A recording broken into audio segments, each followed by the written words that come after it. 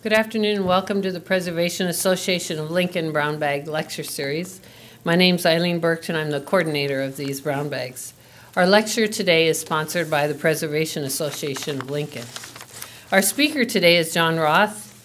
Jon has a BFA in design from the Kansas City Art Institute.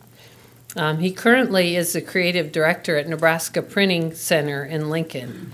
He's worked for numerous advertising agencies throughout the Midwest and he also was an instructor at Nebraska Wesleyan University. Jon has written two books with Mary Jane Nielsen. The first one was called Lincoln Looks Back, and this one is called When I Was a Kid. Um, his talk today is titled Edholm and Blomgren Something New. Please join me in welcoming Jon Roth.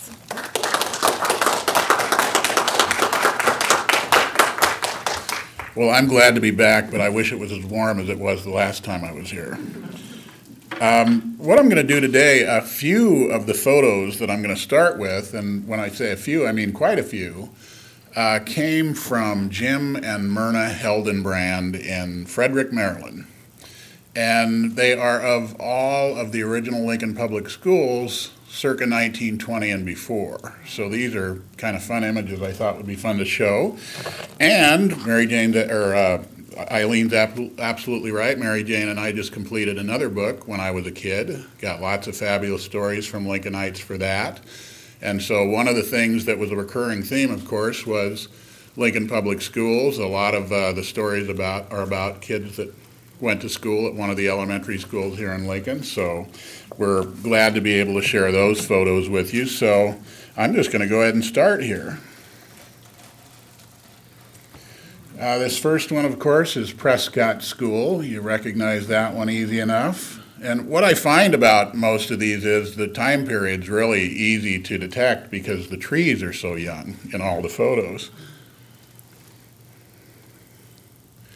Whittier, photo I've never seen of Whittier when it was either an elementary school or junior high. I know it wound up being a junior high. I think Ed Zimmer would be the expert on these. Saratoga, which is my alma mater, and uh, actually led me to find Don Hobbs, my principal at Saratoga, to write the foreword for the book. So, and that building still stands a bit, but it's certainly been modified quite a bit from its original standards there.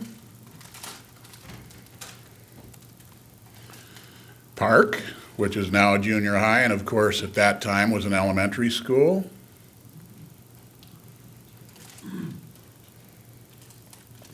Longfellow. This is a school I'm not familiar with. Roxanne? I'm sorry, I'm curious. Do you know which way these are facing? Which street we're looking at as we're looking at them? Because I can't recognize any of them. I don't recognize this one for sure. Now, Park, I can tell you, is down on um, what, F Street? Uh, near 6th, 7th Street, somewhere in there. And it should be facing, it would be facing uh, south, I believe. So that was looking from the park. Yeah, from Cooper Park back, you'd be looking north. But the school's facing south, I think, yeah.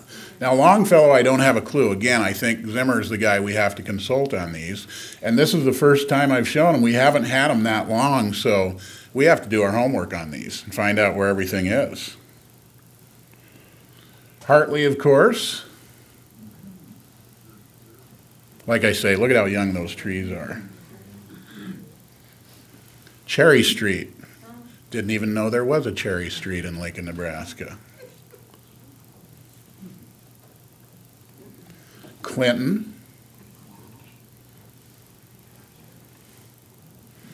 And so far, we haven't seen one that really tells us, doesn't give us any historical artifacts parked out in front to kind of give us a time frame. Of course, Capital School was not razed that long ago the original, and then, of course, the new school was built around the old school. Oh, we went. Bancroft looks a little like Lincoln High. There's the original Everett.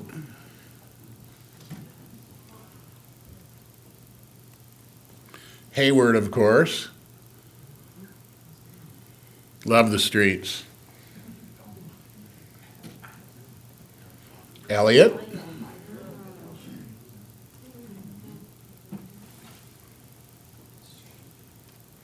Belmont. And you wondered why the Belmont boys were so tough. Look at this place.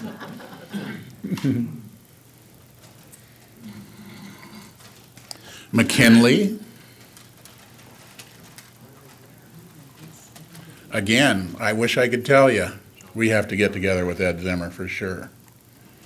Look at this. I love this. It's not even listed as Lincoln High, it's simply listed as High.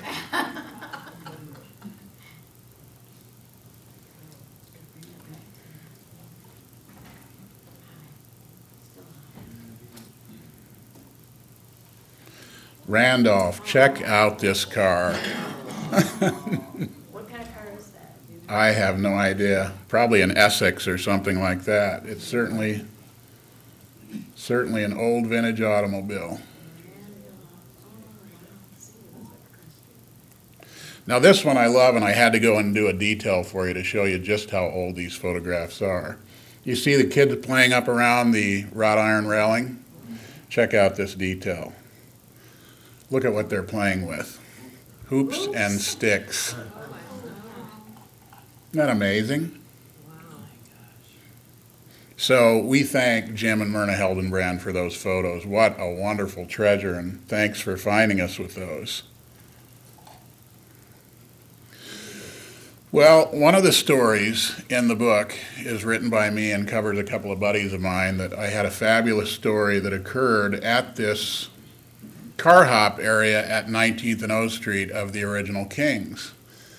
And this was a notorious place on a Saturday night where they had so much in the way of traffic jams that they literally started to charge for carloads of kids to drive through the place. It was that popular. But in the 70s, in my era, the car hops came out, took your order, hung the tray of food on the car window, and went back inside. And one day, a couple of my buddies were there and ordered some food. And of course, I had this buddy that liked to write checks that his mouth couldn't cash, and he got a little smart with one of the car hops. She proceeded to go down and find a four door sedan full of collegians that were about twice the size of my buddies. And they came over and put the crush on my friend's malt and shook it all over the headliner of his car. Well, the only thing that the friend that had made the original mark could say to the friend that shook the, head, the, the malt all over his mom's headliner was, Look what you did to my mom's car. So that's, that's the way that usually goes. Vic Wright had some interesting stories about Pete the cop coming in here and, and keeping an eye on the place and, and uh, running you out if your muffler, muffler was too loud or if you were causing trouble or making a nuisance of yourself. But again, today this is a parking lot for physician's uh, collaborative there at uh, what was Duto Chevrolet. It's simply a parking lot now. We've got a nice exterior shot of it here. So the carport would be around and to the left of where you're looking in this photograph. That's 19th and O where you see the king sign.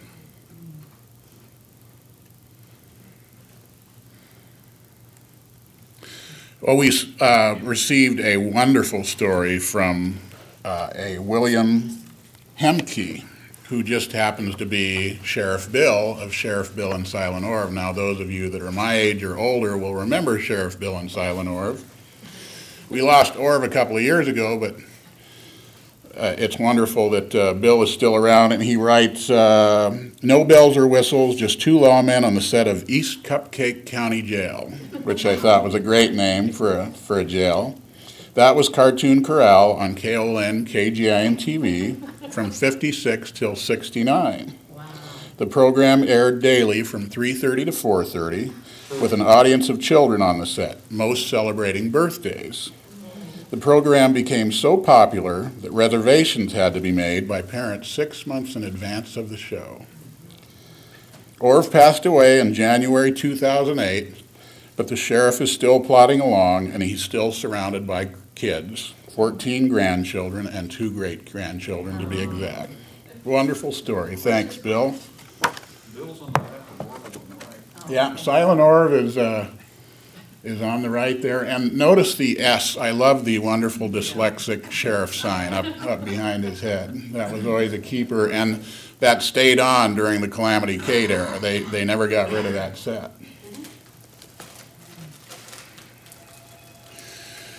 Well, I found, and I think you've seen this photo before. This is uh, 1940s. We had a gentleman here in town. His mother worked at Western Electric, and he made it to the finals in Ohio for the International Soapbox Derby. And uh, this this show was in amongst uh, early 1940 to around 1941 shots. I found great big 8 by 10 negatives and envelopes that were probably McDonald era, era photos. This is probably not an Edholm and Blomgren photograph. But going through some two and a quarter film one day, fast forward to 1967, and here's a young man named Kenny Klein who won the Soapbox Derby Nationals in 1967 with his experimental car. I think it was called the Alligator and notice how far back he's got a headrest on it, how far back you lean in the car to drive the car. Quite a difference from that, from that 1941 variety. Um, we got a lot of stories about the things that kids didn't like. One of the things that, that kids didn't like was the after school appointment, whether involved a dentist or a barber or what have you. I suppose the trip was rather frightening in and of itself, going up into the Sharp or the Stuart building to see your dentist. This is uh, Dr. Kenneth Holland in the Sharp building. And uh, we put this in the book, and we could not identify him. And about a week later, Lita Powell Drake called me and said, We were just having a discussion last night, and we're all certain that that's Dr. Kenneth Holland up in the Sharp building. So many, many years. My dentist, to tell you how frightening mine was, he was up on the 10th floor of the Stuart building, and he was Irwin R. Payne. So his initials formed I.R. Payne. How would you like to go to a dentist with that name? No, he was a really gentle man. He was very nice. Well, the consummate put the board across the arms of the barbershop chair and put Junior up and give him a haircut. This kid's just enjoying it way too much. I never liked haircuts like that. Look at the, uh, which, which by the way is an Edholm and Blomgren product, is the horizontal photograph of the entire Nebraska football team of the era. Those were always in barbershops.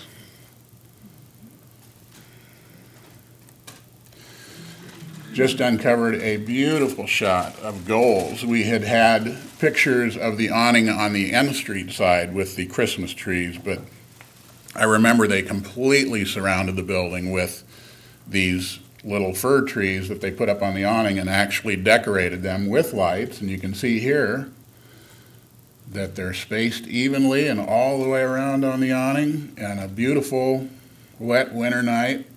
Things are melting a bit, beautiful reflections in the street. I think these are my favorite kinds of Edholm and Blomgren photographs, those taken at night. Well, I love this because uh, um, a lady sent in a wonderful story about holiday memories, and then we just happened to get in the mail this, this photograph from Mally Keelan. And that's Mally, closest to Santa Claus, looking up at him, and his cousins Sid and Billy. This is 1951 at Gold's department store. Pretty magical stuff.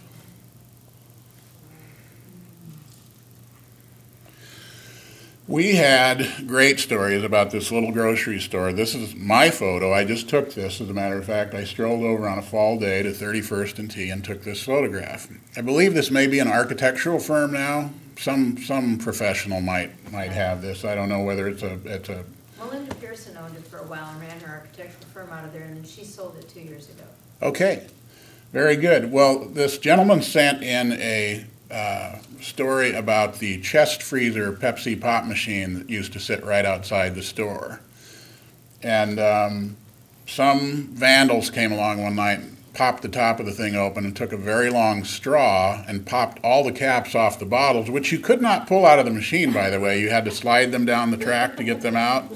But these Weisenheimers figured out that they could get a bottle opener in there and they found all empty bottles Monday morning after the vandals had, and somebody had a tummy ache after that, I'm sure. But this is great because he, he wrote that at the time, and this is just sort of an ironic thing that this crime occurred at this location. this was our Lincoln Police, one of our Lincoln Police chiefs, Tom Cassidy's first jobs was hauling groceries at this grocery store. And that's in the story in the book.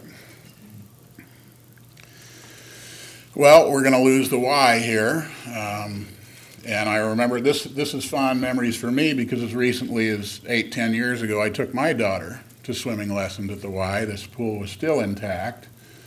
Did you ever get to see this? This was a wonderful pool. It had ceramic tile in it, beautifully colored ceramic tile. Skylight over the pool. Yeah, you just don't see things like that anymore. Wonderful, wonderful venue.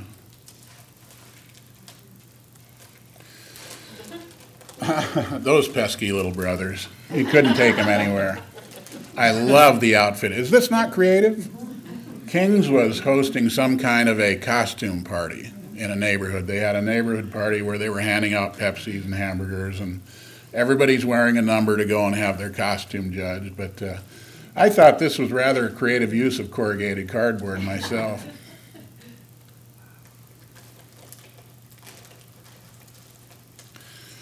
We had a story from a lady that had grown up southeast of town, just outside the city limits. Her name was Elaine Whipperman Hall. She grew up on a poultry farm. And the wonderful story that she had, of course, this photo has nothing to do with her particular poultry farm, but I enjoy it. It's, it's a wonderful photo. And these series of Quonset huts would have to be cleaned occasionally in the spring. And her pastime would be when her dad was hosing the concrete down inside the Quonset huts, that was her skating rink. So she got to go in and skate in all the Quonset huts. And I thought that was a wonderful memory. But yeah, this couple seems to be pretty happy with their production.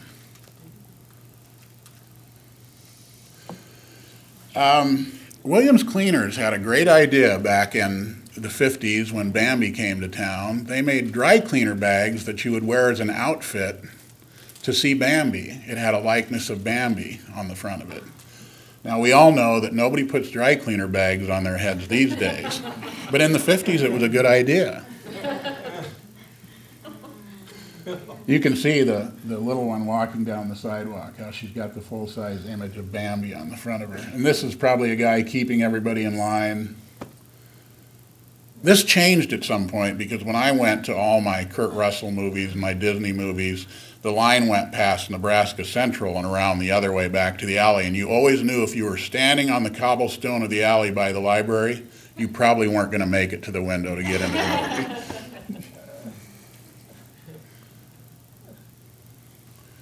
Here's a little one at the food basket, another great gold shot. This is a Meadow Gold promotion photograph. And look at the size of the ice cream cone this guy is holding. Now that's a tiny ice cream cone. Just right for that little one.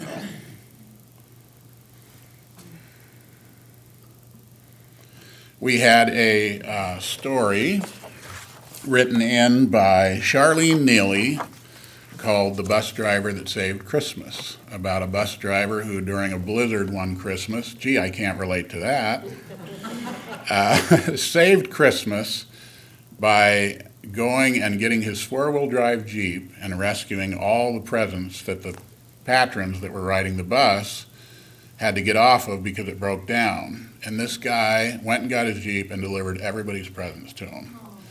And he didn't get there until morning in some cases, but he did, in fact, get everyone's presents to him. And I thought that was a very valiant story.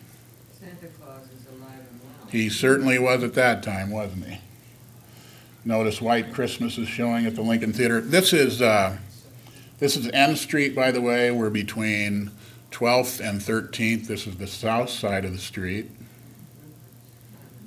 And of course, none of those buildings behind the bus stand anymore. That's what became the First National Bank building of Lincoln. It was the Sengas building for a long time. First First Continental National Bank originally. That's right, Bob. Thank you. Uh, Rupert's, of course, on the corner at 13th. Okay, I'm going to have to admit right away that I doctored this photograph, but I and you've seen, probably seen this photograph before too. But you know, I couldn't for the life of me understand. I worked at an advertising agency, and I'm trying to think of what possible reason this photograph could have been taken. With seven people in the interior of a V dub with everything piled up on top it. I added the Sylvester cat because a lady named uh, Karis Thomas had written in a story about how they had gone to the Southwest on vacation. And they stopped at a place where she could win a five foot tall stuffed Sylvester cat. Now, it's a great thing if your kid wins a Sylvester cat, right? But what are you going to do with it? You're on vacation. You got to put it up on top of the car, right? So, this story, I asked her if I could use this title. I called this "If at First You Don't Succeed."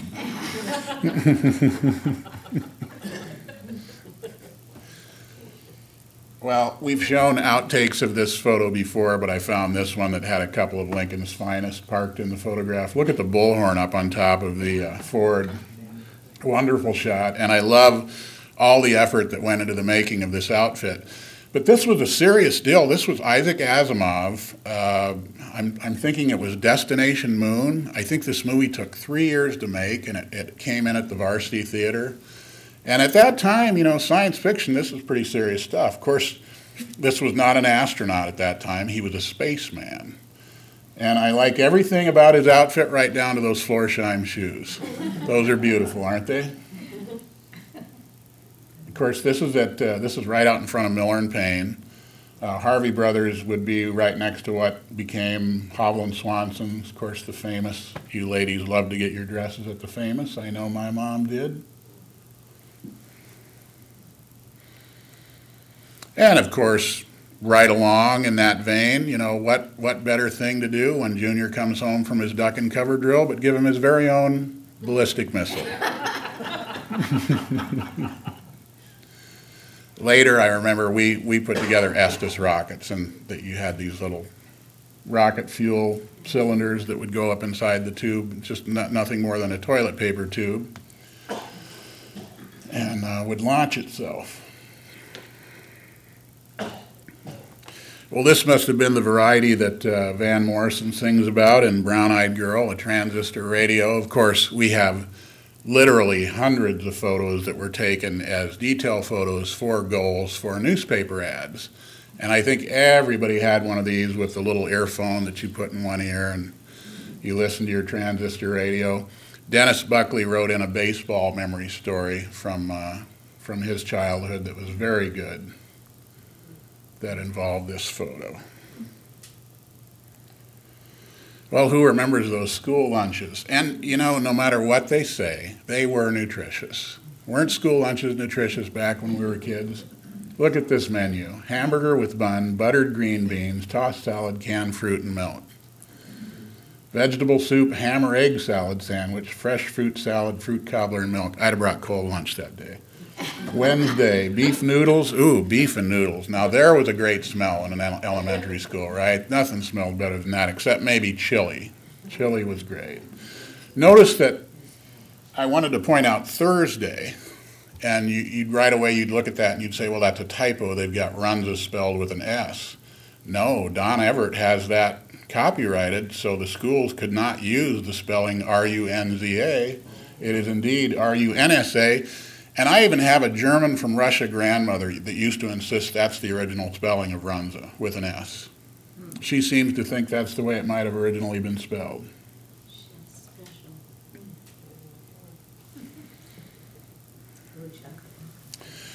Well, this is a little toy store over in Rathbone Village that was simply called the Toy Man. And notice the little girl making her selection of a dolly with the guy. And I love the cash register. The old punch it in, it's got the, got the tape coming out the back side of it, huge drawer to put the money in. But look at all these toys. I just like to peruse the shelves for a while and look at everything that every little kid was playing with. I would imagine that Structo freight truck up there would bring about five, six hundred dollars now. It was probably a five dollar item back then.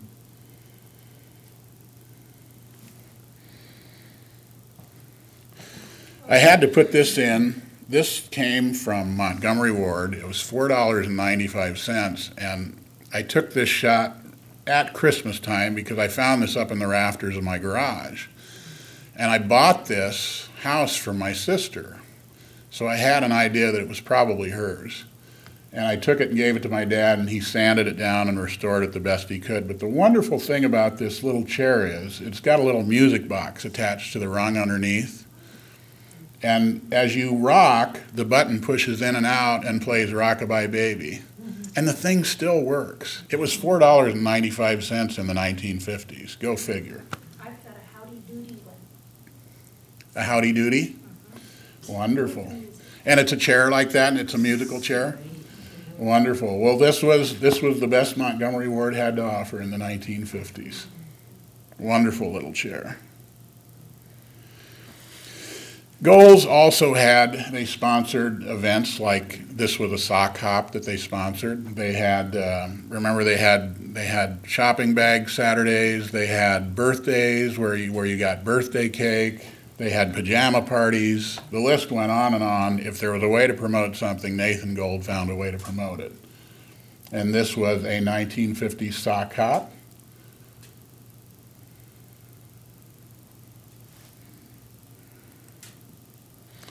Okay, over at uh, 33rd Street, I think, if I'm not mistaken, is there still a national pharmacy at that corner? 33rd and A Street? This was Gehring Drug Store. This is probably typical of a lot of drugstores that uh, we used to go to back in the 50s and 60s that had their own soda fountains within. This is Gehring Drug at 33rd.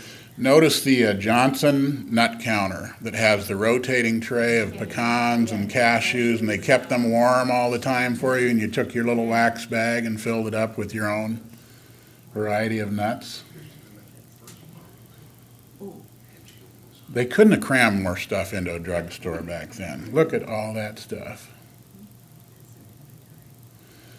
Well, I have a friend, uh, uh, Jack Davis, who uh, worked with me at uh, Ayers and Associates. Who was an he, today he's a children's book illustrator. He lives in Port Townsend, in Washington. But I laughed when I came across this negative because Jack doesn't look anything like this anymore. but he uh, he's an accomplished musician. He was a he was a uh, acoustic played the acoustic guitar and uh, lead guitar very well. But uh, uh, I think this was probably taken for Dietz Music House, if I'm not mistaken, when I looked at the negative, and I seem to recall him saying that he was indeed a salesman there at one time. And uh, just uh, you, you've, you've got to see Jack today today to believe how much different this man is than, than this photograph would seem to suggest. Uh, I had to put this in down at about uh, oh, 17th on O Street. I think there's a carpet seller there now. And at the time, this Studebaker dealership became Jim Dyer Sportswear. And we had a couple of Texair dryers going around the clock up on the second floor. And look at these great big windows in the place. I think it must have gotten up around 140 degrees in this place in the summertime. And we were up there in our tank top silk screening these t shirts. Next door, I, I, was looking at this building. This is the Nevcor. This was a linoleum covering place back, way back when. Now it's a carpet place, so it's kind of ironic that it sort of stayed the way it was. Novo Leasing obviously has become the other half of the carpet store that's here. But does anybody remember what this was, what this Novo Leasing became, or this building next to this Novo Leasing became in the 70s? Because that's what's great about archi- archival photography that makes you remember stuff. You look at it and you say, oh my gosh, that was so short lived, I forgot that was even there. Well, look over here toward the center of the photograph next to Novo Leasing. Do you see the word embassy on the front of the building? It became an X rated theater, which is no longer there, thankfully, but. Uh, how times change. And I'd completely forgotten about this place. It didn't it wasn't around that long. Okay, I'm going to cycle in here. Bear with me for a minute. And we're going to go back.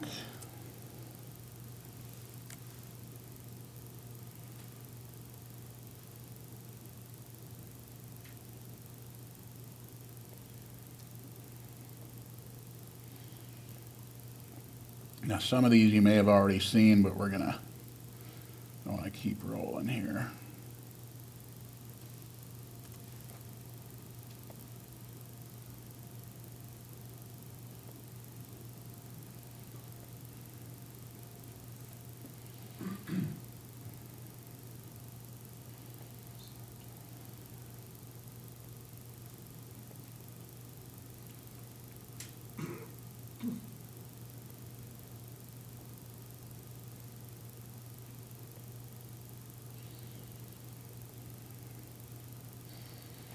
Okay, some memories here that I go back. I, I, I remember uh, Clark mentioning this photograph. I wanted to bring this one back. Sherry Irway at the Hillcrest Country Club in that new Nash, this Nash Airflyte with the top that was prone to blow up and out of the railings. that was the best you could have for a convertible back then, apparently. There's the Kings at 40th and South, what everybody called the Southeast Kings. A 1959 parade on 11th Street. Centennial, probably. Yeah, it is the Centennial. And that, notice that last year was supposed to be our sesquicentennial, right? But we've moved that to 2017 because Lincoln wasn't Lincoln in 1859, it was Lancaster, so we're gonna.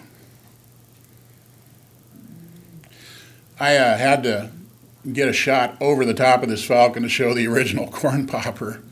And then you can see that the YWCA at one time had a cafeteria in it down at 15th Street. You can see the sign up above. I worked in that cafeteria. Did you? And was the food good? Very good. That's what I understand. There's a women's housing facility uh, to the right of the corn popper. You walk between the corn popper and the little cafe next door, and there was an alley between. With the tar paper on it or the next building over? Wow, that's interesting, Bob. First Lincoln could rent an apartment very inexpensively at a safe. If you didn't hear that, uh, Bob Ripley is telling us about a woman's housing unit that's directly behind the Falcon here that existed where a woman could rent her own apartment. This is, in, in all likelihood, the early 60s, I would bet, right? 61, 62? Nice, nice to know. Tony's just a nice little bit of architecture here. Of course, there's that 1959 Centennial Mall we've talked about in the past. Ken Eddy's. Oh, Who was that? Forty-eighth Avenue. I wrote in the book that I can hear 16 candles by the Crest playing when I look at this photo. It really is the consummate 1950s drive-in shot. Well, you sort of get an idea where Larry Price got the idea for the diamond treatment that he used for Kings for so many years. But this is not Kings, this is the copper kettle. And the copper kettle was housed in the Lindell Hotel. Tillman's Copper Kettle. What's that? Tilden's. Tilden. Yeah, and that was a little bit. I there's there's some some gray area there that that they might have partnered up on that somehow, or that he had some kind of an interest in it, but I haven't been able to to track that down. But I'm looking at that diamond pattern on those, and of course Tillman's had a number of cafeterias. One in the Stuart Building. They had the coffee shop and the bus station across the street from the Cornhusker. Uh, they had Tillman's Plaza, which was in Rathbone Village, which became the Red Rooster eventually. So Mr. Tillman, oh, he had the cave. Nobody, nobody knows about the cave, but that was quite a venue at one time. It was the Metazoic age or the Preozoic, pre, prehistoric age, and it had stalactites, and it had was quite a quite a place, from what I understand. Again, I think this is the copper kettle.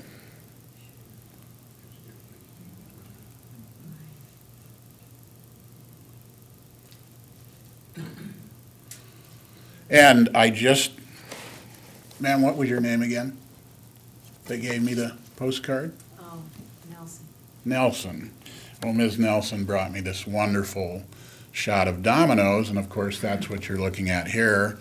The giveaway is the fountain outside, the window, the trapezoid window, that, that tacky 1950s architecture that we used to see. By the way, uh, they just closed the Diamond Vogel paint store at uh, Cotner and, and uh, Holdrege Street. Have you ever noticed that those those windows are in, of an inverted trapezoid? Do they call that a trapezoid variety or a Just kind of canted. It was- canted windows? It was as much to divert a traffic noise, noise, because windows are perfectly horizontal or vertical. Really? They could rattle with trucks and stuff. Had no idea. That's a great that's a great thing to know. Bob's saying that the reason that they inverted the windows like that was because it was to deaden the sound, so that it would be trapped by the window and go downward. Nice to know. Another Kennedy shot. This is the powwow room at the Cornhusker, one of many. You had the landmark, you had the wigwam. No, you didn't have the wigwam. What did you have? What was the other one? The teepee room, that's right. Well, we've seen this a number of times. Robert Culp with his 59 Buick LeSabre. Uh, this is Carl, trying to think of his last name. He was married to Johnny Cash's wife originally, who would, the lady that would become Johnny Cash's wife. Carl Smith, I think, at Gold's at the record department. Sort of the segue from Rocky rockabilly into Elvis very popular at the time, as the hairdo would suggest. This is a view, this is kind of interesting because it's a view uh, looking back across 48th Street towards uh, Eddy's, which of course was positioned at an angle at the, at the corner of 48th and, uh, and O Street there. This was uh, Rohrbaugh's IGA parking shop. They had a place called Parking Shop that was over Oh, probably about where uh, the auto store is today. I think there's an auto parts store there now. Rohrbaugh's building's still there. Is it still there? They just kind of covered it over. First building north of O Street on Forty-Eighth on the east side. So that's the one that was Blockbuster and it's been abandoned? Correct. Uh-huh, very good. Yeah, it's, but this is right on, it's right on Forty-Eighth Street. Yeah, well, there's nothing else there now that they tore that gas station out, right? Very good. Well, I, you know, you, the, the Tastee Inn that you know of that's still here, of course, is at, uh, for, just off 48th and Holdrege to the north there. But we did have one down at 13th and Q at one time. And, uh, you know, same, same product. Uh, this place closed and became the Hong Kong Pizza King. Now, let me tell you, these guys had a mean meatball sandwich. Now, why you got a meatball sandwich at a place called the Hong Kong Pizza King is beyond me, but that's what it was called, and it later became Pontillo's, which then, of course, transitioned into Da Vinci's with the. There's the original. I, I always love to show this photo because I like to point out the little articulating mobile that they had that blew in the wind out on 48th Street, the red disc that would catch the wind. And this thing would swing in and out as the wind would blow to the north or south, and it would sort of like, and I don't imagine anybody in the city, city's offices would let you get away with putting something so close to the right of way like that now, but old Jug Jorgensen knew how to get his customers in look in the opposite direction. Of course, this drive up became a convenient place to house Christmas trees in the wintertime so he could sell his share of Christmas trees the same way that Gene would at Zesto's at 11th and 11th and South. And I think probably at one time those are about the only two places in Lincoln you could buy a Christmas tree without going outside the city limits. There's Tillman's Coffee Shop. Of course, we still have this lovely bus station. Um, gosh, this has housed a lot of stuff. This entire complex, I, I, have a picture of Richard Nixon going into the Cornhusker back in the 50s, and there's an Edsel dealership in this building. It's unbelievable how many things have, have changed. It's been Tillman's, it's been this, it's been that. A few years earlier, it becomes the Corn Cob, which, of course, everybody t- touts as a favorite haunt of Mari Sandoz to go and do some thinking and writing in. So, same location. There's the cave. Isn't that wonderful? This is a Tillman operation. Wasn't this guy creative? He had an idea for everything. This was in Rathbone Village, down in the lower level. You know, it had to be in a basement. It couldn't be up above if it was.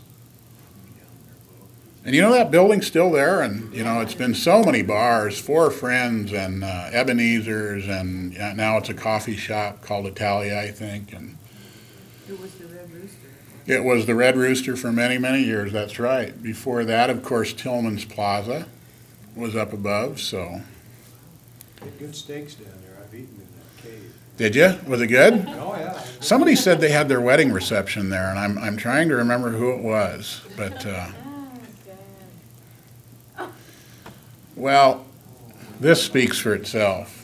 I mean, you just you just can't believe what this place looked like in, in 1955. This was a desolate place. This was the north end of the Miracle Mile, and of course the Starview Theater went in, and uh, a few gas stations popped up here and there. Notice the United Rentals over. Still there. It's still there. It's a it's a U-Haul dealer today. It's just absolutely amazing. What is this? This is twenty-seven? Forty, that's forty-eighth and Vine. You know, I'm just wondering, is that possibly? I'm trying to think because I know this has got to be Vine Street going here. Could that be the famous Doc's, whatever it is now? Dr. John's? Is that Dr. John's now? Because it, it's way down across, and I know U-Haul came this way, so hold Funny. that's a chuckler. There's Mr. Tillman and the Colonel himself touting a bucket of fried chicken. How are we doing on time? Got about seventeen minutes. Very good. Well, it's still standing. sort of.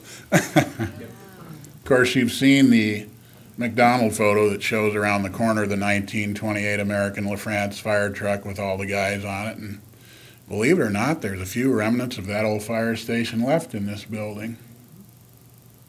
Again, Schaefer's. Um, appliances, popcorn, and soda fountains. Just you make it however you make it as a businessman in the 60s, and that's that was their combination. You could get sandwiches, you could get candy, you could get everything here. Not too many places you can go today and get a refrigerator, a cigar, and a sandwich, right? That's a shame, really. Of course, Odell's cut my hair many times. Odell's Barber Shop. It was so close to Everett, that's where I had to walk to get my hair cut after school. I like to throw this old color shot of uh, Don Mar in from time to time. I love the old post-mounted mailbox there, the red and blue Oh, post-mounted mailbox. Of course, they've got the penny scale outside. No, no vandals to worry about. It sits outside all night long, and nobody messes with it. this what, forty-eighth? This is actually 14th and South. 14th and South, Oh, and. And the thing that's just recently happened in the in the last couple of years is they've sort of straightened this out a little bit. They've made the jog that goes south not quite as severe. It's a tanning place now. It is a tanning place. It was Jim's Drug for many years, then Jim's Home Health Supplies, and Hardware store for a while. oh, they had everything around the corner. You're absolutely right. They had Allen's Alley, which was the best hardware store in the world. Later becomes Handyman Hardware about a block down. You've got Knight's Family Store. You've got French's Cleaners. You've got Wendland Baking Company, which is the famous baking company famous for Aunt Betty bread. But that's, I, I'll tell you, that's but a small degree of what they did. You couldn't walk by this place without going in and getting a Bismarck. They just smelled wonderful. They were the best. Across the street, you've got Lincoln Lock and Cycle, which was a great little bike shop. Bill's Shoe Hospital. Hasco was an appliance place. Oh, Spencer Steakhouse. That's right. Where the the only remnants left of Spencer's Steakhouse is a badly drawn graffiti sign that says Lincoln Boxing Club, and there's a few trophies, sparse trophies in the window, and but the black glass tile is still there, and the windows are still there. Uh, it, it largely still stands. The Salvation Army for a while. Yeah, it was. It was either a Goodwill or a Salvation Army. Um, Don Mar was a great place too. Top 50 records, you could buy any 45 record, the top 50 on KLMS was on pegboard inside this place, and you'd go inside and listen to it before you bought it. They had a soda fountain at the back of the place. As you went to the back alley, there was another entrance with a glass door where you'd walk right into the cafe to get a piece of pie and a cup of coffee. A great little drugstore. And I, I haven't seen Sealtest ice cream in years and years. Here's another good shot of Wendland's. That was the place when, when you were on South Street. It's one of the few places I remember, other than National Bank of Commerce, that told you what time of day it was with an old bulb clock, digital clock. There's Spencer's. Not the greatest shot, that's the only one we have of the exterior. I think I might have a few interiors here. Okay, we've talked about that before. Tom straightened me out on those rope ladders one day. I was trying to figure out how they got those bulbs up there. Anything to add on that, Bob? No? What a what a fabulous thing that was to see. I uh, I always like it when I'm coming from the west and uh, the capitol welcomes me back home. And can you imagine if you'd come out of a blizzard like we had a couple of weeks ago and you'd fought your way back to Lincoln? That'd be a welcome sight to see that beacon of lights up there welcoming you back home again. It was last Tuesday. Yes, that's absolutely right. Again, we've got another 59 uh, centennial photo here. And I always love looking at these because, boy, how times have changed. Can you imagine an owner of a business letting you get up on their membrane roof today? Stomp around up there. Look at all the kids up there. I can show you the very same thing at Walgreens for a Christmas parade. There's just dozens of kids up there. And you don't know if they got up there because they let them up there or they got up there because they knew how to get up there and nobody bothered them.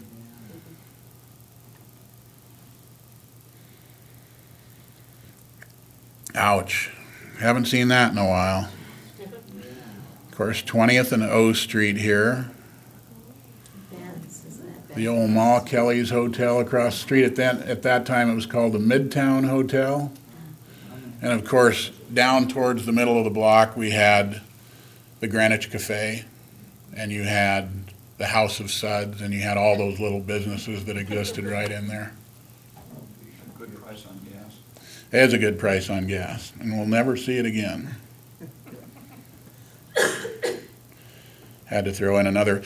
I, I like the blur on this. I think it was from the actual animation and the chattering of the bulbs that caused this when the picture was taken. Okay, I think there's an interior shot. Just throw some questions out if you want to talk about anything we looked at or go back to anything. But why be sure be sure and ask me a question. We got about five minutes. I'll just kind of let these scroll. Oh, where's that?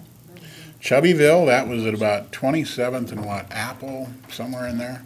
Still there. Still, building's still there. There's 14th and South. There's another great gas price. Shortstop was up at 27th and O. The Sleepy Hollow.